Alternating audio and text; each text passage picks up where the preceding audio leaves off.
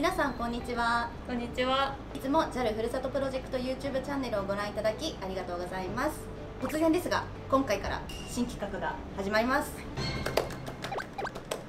新企画が始まるにあたりましてこのチャンネルを新しく担当します AD のすけさんです。AD のももちゃんです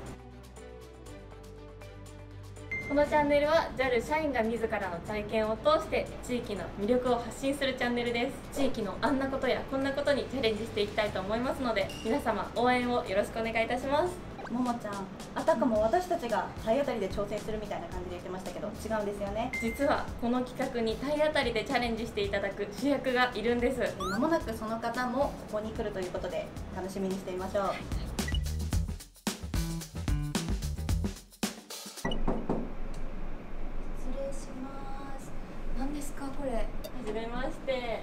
ももちゃんです。すけさんです。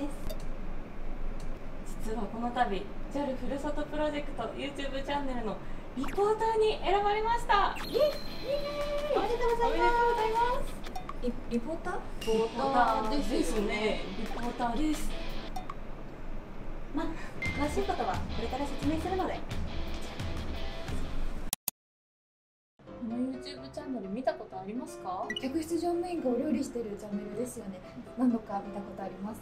今回から新企画が始まることになりましてリポーターとしていろんなところに日本全国いろんなところに旅に行ってもらいます。旅にちょっとまだよくわからないですけど頑張ります。では早速ですがチャンネルをご覧の皆さんに自己紹介をお願いします。皆さんはじめまして。日本航空客室乗務員の岩出由香と申します。三重県松阪市出身ですこの度はリポーターに選んでいただきましたので一生懸命頑張っていきたいと思います。どうぞよろしくお願いいたします。ゆうかさんっていうんですね。はい。ゆっぴーでもいいですか？ゆゆっぴーで。わかりました。ゆっぴーでいきたいと思います。じゃあゆっぴーよろしくお願いします、お願いいたします。ちなみにゆっぴーはどんな旅行が好きですか？私は温泉でゆっくり過ごすのが好きです。温泉いいですね。ちなみに温泉どこに行かれるんですか？私のふるさとの三重県も温泉がたくさんあるので家族と訪れたりしています。三重県あと温泉の他にも美味しいものもいっぱいありますよね。そうなんです美味しいものを食べるのも好きなのでこれからいろんなところに行って美味しいものを食べられたらいいなと思ってます。ちなみにゆっぴーさんは運動とか得意ですか？学生時代は一応バスケットボール部に所属していたんですが最近は運動してないのでちょっと心配ではあります。学生時代バスケ部でしたらきっと大丈夫だと思います。これから日本中でいろんなチャレンジをしてもらうわけですが何か挑戦してみたいことってありますか？普段プライベートでは挑戦できないようなことにこのチャンネルを通じてチャレンジできたらいいなと思います、素晴らしいですところで行き先ってもう決まってるんですか実はまだ決まってないんですよね。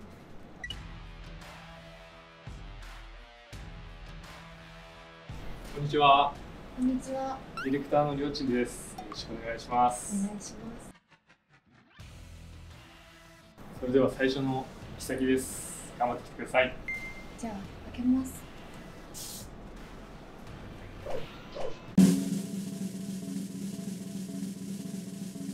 ゲー前です行ってきます行ってきます本日から新しい企画がスタートしました。社員の様々なチャレンジを通じて地域の魅力を発信していきたいと思います。皆さんが見たい場所やおすすめの場所、ゆっぴーにチャレンジしてもらいたいものなど、ぜひコメント欄にお寄せください。それでは皆さん、グッドボタンとチャンネル登録よろしくお願いします。